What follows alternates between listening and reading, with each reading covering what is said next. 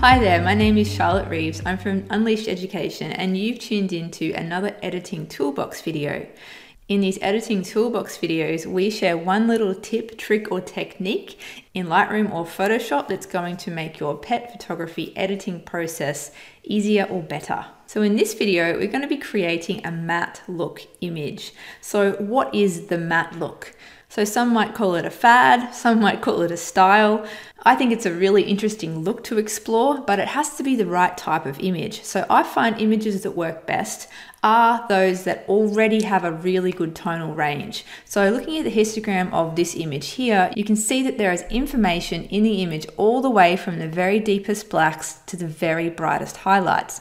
There's no gaps at the left hand side or the right hand side, which corresponds to the shadows and the brightest highlights in this histogram here. So as you can see, I've already done a fair bit of editing to this image. This was the raw file. I've taken out this pipe.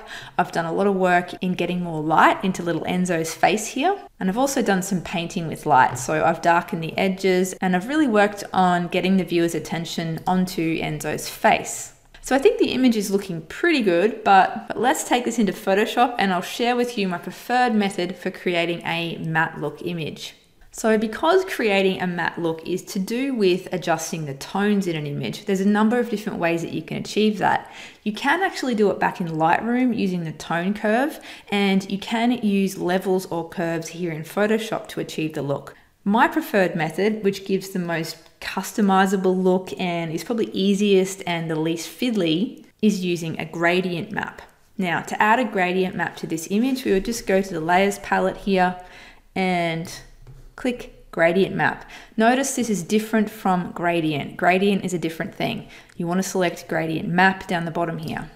Now, how the gradient map works, it actually maps the tones in the image from the darkest to the lightest onto a new set of colors, so a new gradient. So if you have a look at the properties for this gradient map adjustment layer here, if you can't see this properties palette, just make sure you go to window and make sure it is ticked here. So if you have a look at the gradient that it's used, I'm just going to click on the gradient here. It shows you that it goes from darkest black all the way to brightest white. Now it's taken all the tones of the image and it's applied a grayscale tone to that. Now this is actually a kind of an interesting way of creating a grayscale image or a black and white image. Now to create a matte look image, instead of going from black, darkest black to brightest white, we want to reduce the range of tones in that gradient. So instead of black, we might choose a very dark grey. And you can see this immediately updates on the image. And instead of pure white, we might want to choose a very, very light grey. So already you'll see this has created quite a nice range of tones here. And it's just because it's mapped those existing tones into the image onto this new gradient. So let's just click OK. Now, we don't want to end up with a black and white image, so this is why we're going to add a blending mode to this layer.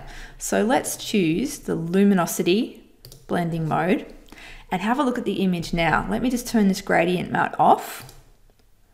It actually helps to refer to the histogram to understand what's going on here. So with that adjustment layer off and histogram again, if you can't see that, you'll just need to go to window and histogram. Also recommend make sure it's on expanded view. Now with that adjustment layer turned off, you can see that the range of tones go all the way from the very left hand side to the very right hand side. We've got a full range of tones from darkest blacks to brightest whites. Now let's turn that adjustment layer on you'll see that it's remapped all of the tones. Instead of going from blackest black to whitest white, it's gone from kind of like a slightly grayish black to a slightly grayish white. Now I actually really love the look of this. I feel like it compresses all the tones into a smaller tonal range and in doing so makes the colors a lot richer and gives the image a smoother appearance. It gives it a really film-like look that works really well for this style of image that has a lot of contrast but also has a lot of dark tones and bright tones in it. So if you don't want to apply the full force of this effect, you can just select this layer and change the opacity. Bring the opacity down to a level that you're more comfortable with. Another thing that you might like to do is use the mask that's included with the adjustment layer and actually go in and brush the effect off certain parts of the image. In this case, we might brush it off Enzo's face a little to help bring back some of that contrast in that area. So we just need to select the mask, choose the brush, Make sure it's got a nice big feather on it. So I always take the hardness all the way down on the brush. Make sure it's a black brush. You can press D on the keyboard to give you default black and white foreground and background colors and then just X to swap those over to make black your foreground color. I also like to make sure the opacity is at 50% just in case we don't want to entirely brush that off the face. And I'm just going to brush this off Enzo's face and then I'm actually going to go into his eyes, change the opacity of that brush back to 100% and completely brush it off his eyes. I really want those eyes to stand out.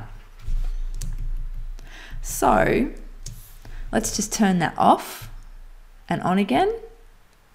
I really do like the effect that this creates. I hope this has been helpful for you and I'm super keen to hear if you've tried this and how you found it works for your images. If you like, you can share your results with us.